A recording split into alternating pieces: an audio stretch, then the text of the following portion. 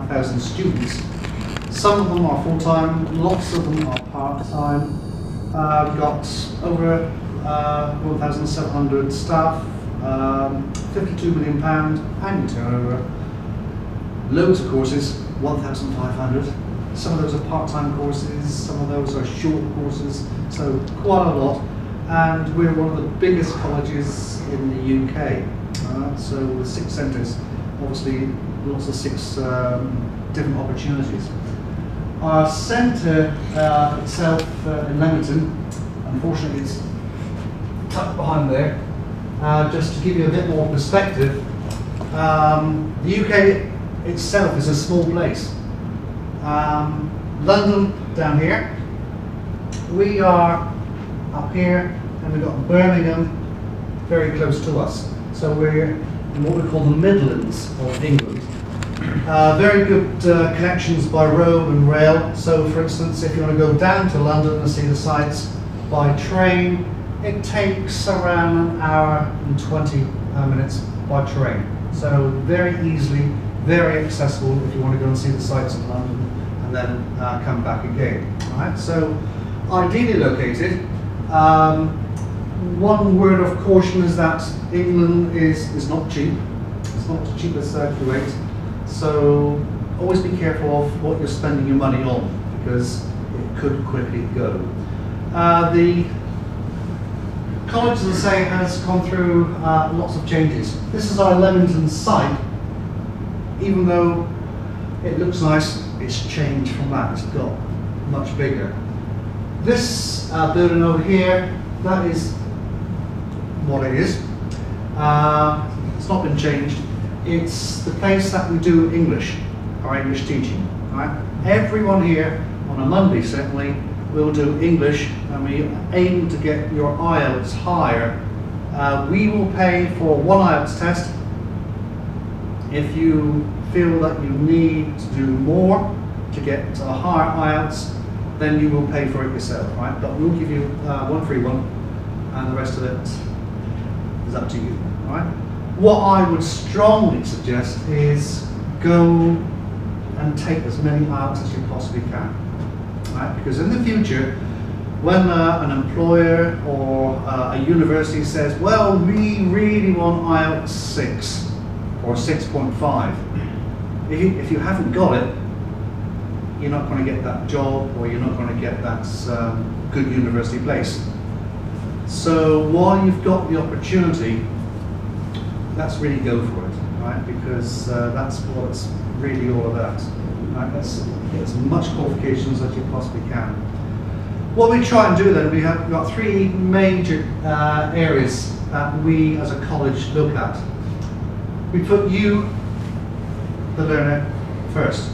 It's your needs that we really cater to, but also we have standards. Here, we're not going to say, come through the door today, leave by the door tomorrow, and we're going to give you a certificate. Somewhere between entering the door and leaving, there's got to be a bit of learning somewhere, right? And which is down to you, but also down to our teachers to make sure they are getting you through the course to the right level, all right? And the expectations there. So, high quality. Yeah, we believe in a high quality because know, there's no second chance in getting high quality. Yeah, anyone around the world can produce poor quality, but think for yourself in five, ten years' time, an employer will want the highest possible caliber of staff they can, they can get. If you've got poor quality education, you haven't put yourself out, you expect everything to be laid on a plate, well, there are thousands, if not millions of people like that. Don't want them. We want good people who are able, ready and willing to put yourself out for highest qualification, highest quality and have that can-do approach. Right? And if you are can't do, won't do, give it to me. Tough. You're going to find it difficult. So we believe that high quality is with you but it's for you to really be hungry to want it and need it because I'm going to be a boss, I'm going to earn thousands of KD a week and I'm quality. All right, so believe in that. And we also uh, promote fair, open, and respectful culture as well. Right, respectful culture is very important because we've got lots of students from, I think, about 42 different countries. Uh, and you know, we've got to give respect and understand culture as well. And we expect that the other way around as well. Right, so we are uh, an international college, and uh, without respect and understanding, you know, we will go nowhere. And let's face it, the world nowadays is a multicultural society. We live, we work, and obviously, thank, thank God, you can understand English. Um, I've got a problem with uh, English myself. Uh, I'm English. Uh, but uh, you know, we do live in a very, very much of a global organisation now. And yeah, we need to be part of it. So, so respect for culture, very important. Right, so some people say oh, oh, on, on an international foundation, what the hell's an international foundation? Right, to give it some perspectives then, it's equivalent to A levels. Are, are you familiar with A levels? Some people may be, some people may not be. Right, A levels are what we call a level three qualification. In, in the UK, here we have different levels of qualifications. Right? A level three is um, is a good uh, qualification to finish at high school before you go on to university. So an international level or international foundation program is a level three, right? It's one year, and as it says there, it's for students who've graduated from high school but need additional support in English language, study skills, and also the subject knowledge as well. So most of you are probably doing engineering, so you're going to get a good grounding in a foundation of engineering. Same with business, same with politics and law. You're going to get a good understanding of what those subjects are all about before you go on to your next stage at university. Uh, grades are percentage graded. Uh, so some universities may say, oh, we want uh, engineers, for instance, here we want 60% uh, maths. Because you've got to understand the, the mathematical concepts of engineering. If you cannot add two and two together, you're going to find it very, very difficult in engineering. Because, uh, oh yeah, what's the uh, pressures and the stress of, uh, of this cable? And I'm building bridges, and if I don't add up and take away and multiply and things like that, you are going to, you're not going to be an engineer, right? So you've got to make sure maths are very good.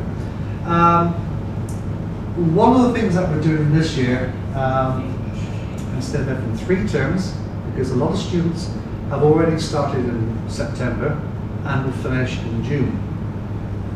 You are going to start in January and finish in June, which means that the course, whichever course you're on, is going to be pretty intensive. And as what I said a minute ago, you've got to have that can-do approach. I want it, I'm hungry, I'm going to get it. Now, it does mean that you are going to have more hours than those who started in September, right? Because they're yeah, a few months ahead of you. The team, you're not going to be mixed in with uh, the other groups. You're going to be you know all by yourselves in Leamington, lots of hours, and what we do need is your undivided attention to be in class 100% of the time right? Because it's going to be hard work, hard going, but really worth it at the end of the day. Right? So it's for two terms only. The term, as we'll see in a short while, will go from January through to April, I think it is, and April through to June. Just two terms. You have a bit of a break in the middle called Easter, uh, where you have two weeks off, uh, so you can rest and relax, and you have what we call a half term as well. So they have a week off in uh, February and a week off in May, just to catch up on things. But we do expect for those two terms everyone to be there in all classes, rather than thinking, oh, I got oh I got police registration. Fine, we'll get the police in to do police registration.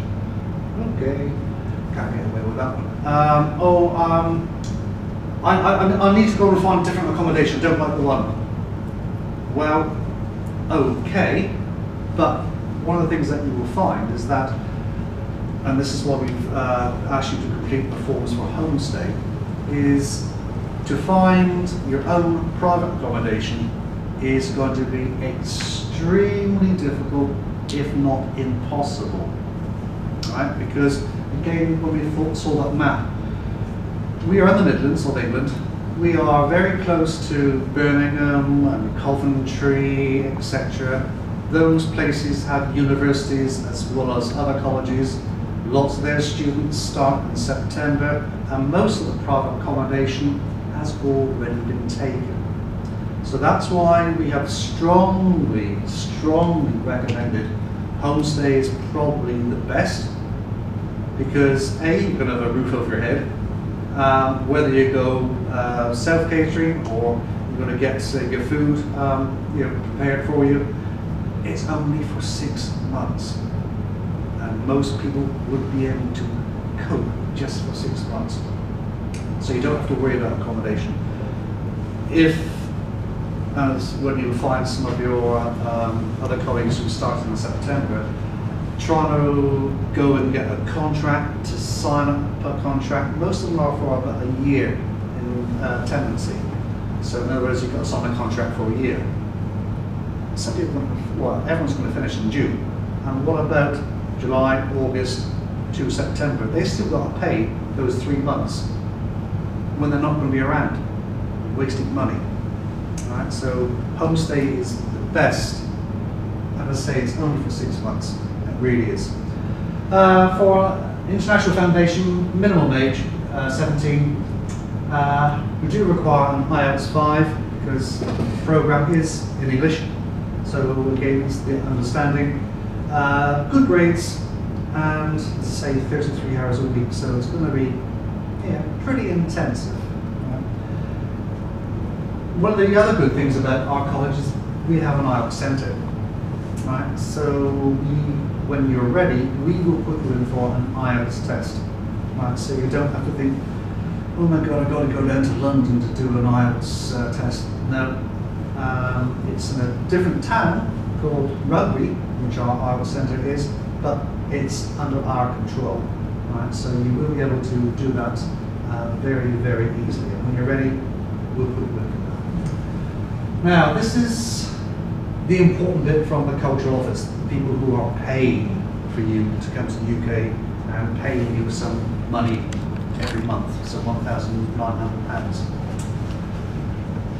Right, so one of the things that we've got to bow down to for the cultural office is that uh, they want to check on two things your attendance and your progression. There is a very, very strong correlation for, uh, for those in the past that who have not attended. Their progression is pretty poor. And I came across in July to do resits for some people because their attendance was rubbish. Right? And of course, if you're not in class, how are you going to learn? And again, I strongly emphasize that this is an intensive course.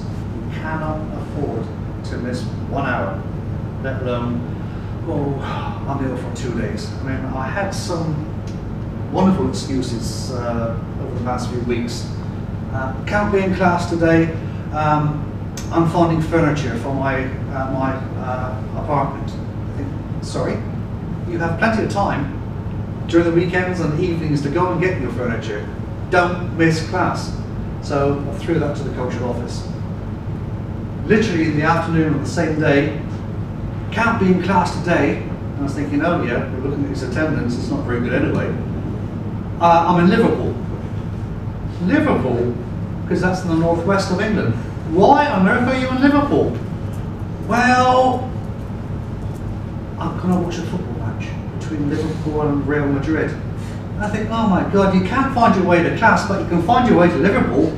Yeah. Um, so again, threw that to the cultural office and said, deal with it. Yeah. Uh, so, you know, we've got to make sure people are in class because if if we don't make sure people are in class, the cultural office are really going to be angry with us and also with you.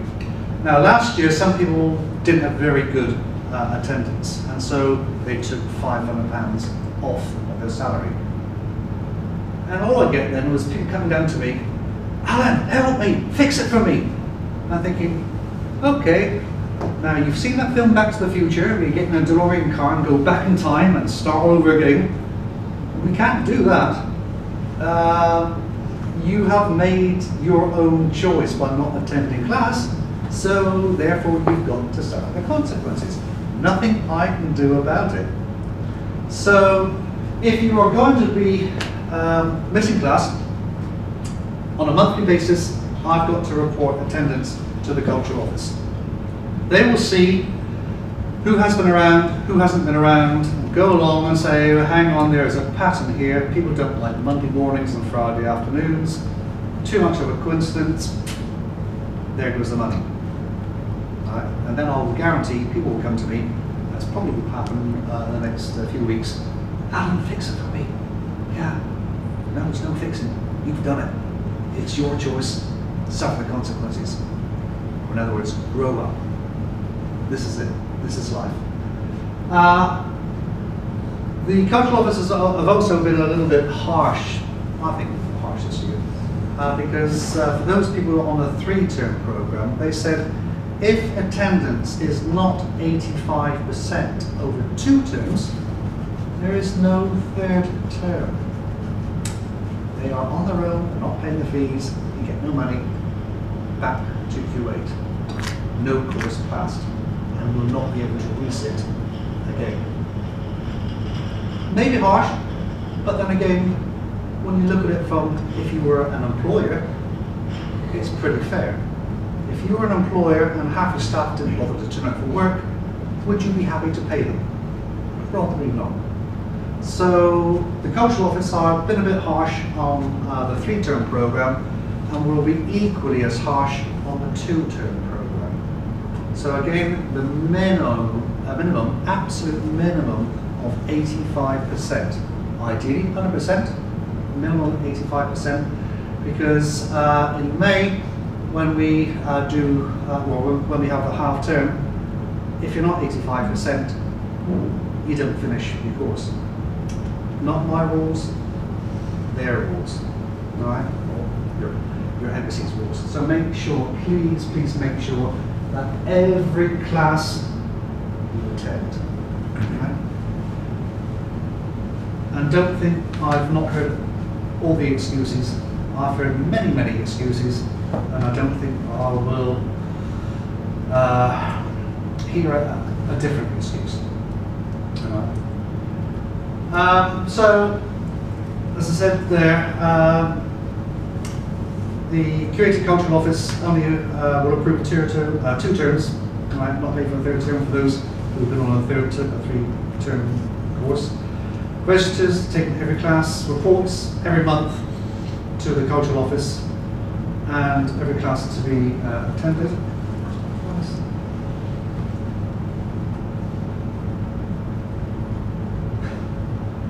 Okay, you can see what's playing around with this.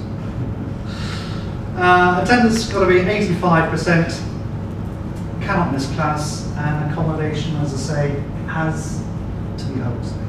Right? As I said, you will find it extremely difficult for a private uh, accommodation. Right? If, if you are lucky enough to find private accommodation, uh, you've, you've still got to pay one month for homestay accommodation, absolute minimum. Uh, but as I say, you will probably find it really, really hard to find a private accommodation for the length of time that you're going to be in the UK. Right, so when do we go for it? Right, the teaching starts on the 7th of January,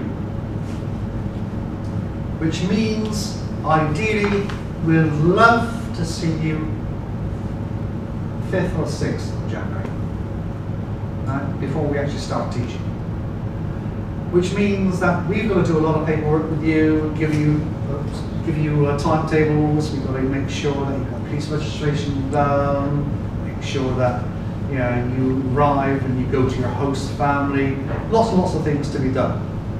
And we really don't want to take time out of teaching to do that.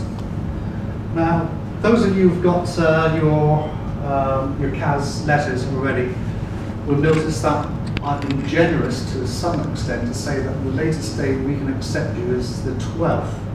Well, it gives you a little bit of time to play around with, but ideally we need to see you the 5th or the 6th of January so you can be in class being taught on the 7th. Okay? Because again, you know, we can't, can't afford to miss time. Don't be like some people uh, who started in September thinking, um, oh, I've got the CAS letter, oh, loads of time to go and get my visa, I'll wait. Yeah, because I've got lots of time to wait. Well, everyone else thinks that as well. Because uh, there are some universities starting a January course, colleges starting a January course, and it may take a fair bit of time before you get your interview for your visa. So once you've got your visa letter, go get an interview quick. At least it saves you running around or waiting uh, because you're not the only one. Everyone else will do exactly the same. So make sure that you get your visa very, very quick. Um, we do have a half term, as I mentioned, where there are no classes. That's Monday, the 16th to the 20th of February. Right? You don't have to be in class, you can lay in bed, do whatever you want. Go down to London, see the sights, go up to Scotland, see the snow. Um, so we've got a week off. Um, but we do start again, and we will finish on the 27th of March, uh, which will be good, because then we actually start on the 13th of April. So between the 27th of March to the 13th of April, you're free. So something may, may want to come home, great. Go on top of your parents for some more money. Um, or stay in the UK, equally fine, no problems. But you still have to pay your host family. Right? So, yeah, that's one thing. Um, but uh, you've got two weeks, basically, that is your own to do as you wish. But again, we do expect people on the 13th of April to be in class. Not decide that 13th of April, oh well, it doesn't matter, I'll fly on the 14th. Well, your attendance will go down. Now, if you're not in class, and remember we do the registers, if you're not there, your attendance tends to go that way. Please don't come to me and say, fix it for me. You've made that choice. So again, we have another half term. Uh, on the 25th of May to the 29th of April, we got another free week. But in the UK, we also have a public holiday, which is uh, Monday, the 4th of May. All right, so we have a long weekend. And we finish all courses on the 26th of June, right? Which means you fly home, you know, 10 o'clock at night there was a flight on the 26th of June uh, from Heathrow to, uh, to Kuwait. Don't know what timetables. So when people say to me, oh, I've got to go home at this time, yeah, why? Do you want me to tell you the timetables of Kuwait Airways or British Airways? Because I know them. Right. Um, ideally, though, uh, fly home the day after. The time you finish, pack, etc., take your time. Don't be in a rush. Uh, go home uh, on the 27th of June. Home will still be here. It's not going to go away. So that's what we have to do. So please, please, please do not come to me and say, "Oh, I've been here five and a half months. I want to go home first of June." in your dreams right? Uh, because you've still got to pass the course. There may be some assignments that you've got to do, some exams you've got to do. Whatever you have to do, you've got to do it. Simple as that, because the cultural office know our exam, sorry, know our term times, and they will, will be expecting everyone to be attending right up to the very end. All right, so please, please follow the rules. Yeah, say not totally set by us, but by uh, the cultural office. So some of the basic things that we need to consider then, and they are basic rules.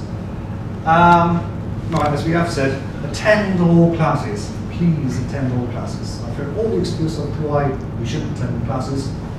Um, if you can come up with um, uh, a unique one, which is very, very plausible, I might listen to it. But 99.99% I won't listen to it. You have to be where you should be. Uh, do all the work to the required standard. By that, don't do as some people have done in the past of, oh, I've got an assignment to do. Um, you do the assignment, will you? And these two will copy it. no, because the teachers are pretty well trained to know, I've read this, hang on, I've read this again, word for word. Uh-uh, that doesn't work. So all three of you will fail. Uh, but make sure it is your own work, your standard, your work which you are proud of, not someone else's work which you think, well, that will do. Be my turn next time to do the assignments. No, make sure this is your own work, right? Because again, the teachers have been around a lot of years. They know what they've read, they know the books, and they know if it's been copied and pasted as well. So make sure it's your work which you are proud of.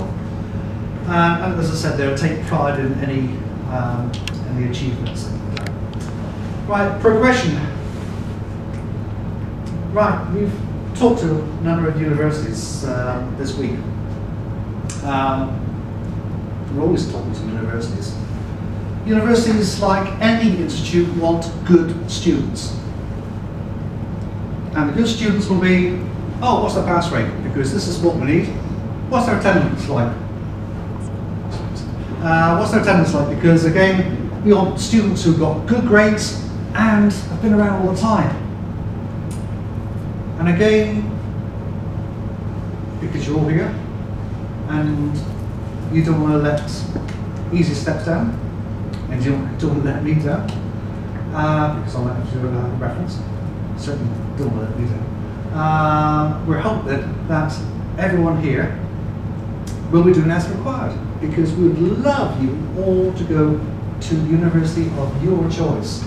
So please again, as I've been saying all the time, and as I will say when you come to the UK, make sure your attendance is up, make sure um, your progress is good, because without each other, progression is going to be difficult.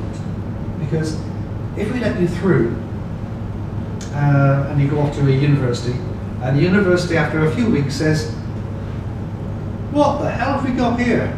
You said that these students are got this and they got that and meet graduate requirements, but they can't tell one of a pen from the other, they can't find their way to class, the students are totally rubbish, we don't want anybody at all in the future from Easy Steps. Not good for either of us. So be very, very aware that we don't want to be let down. Right? So make sure you do as required.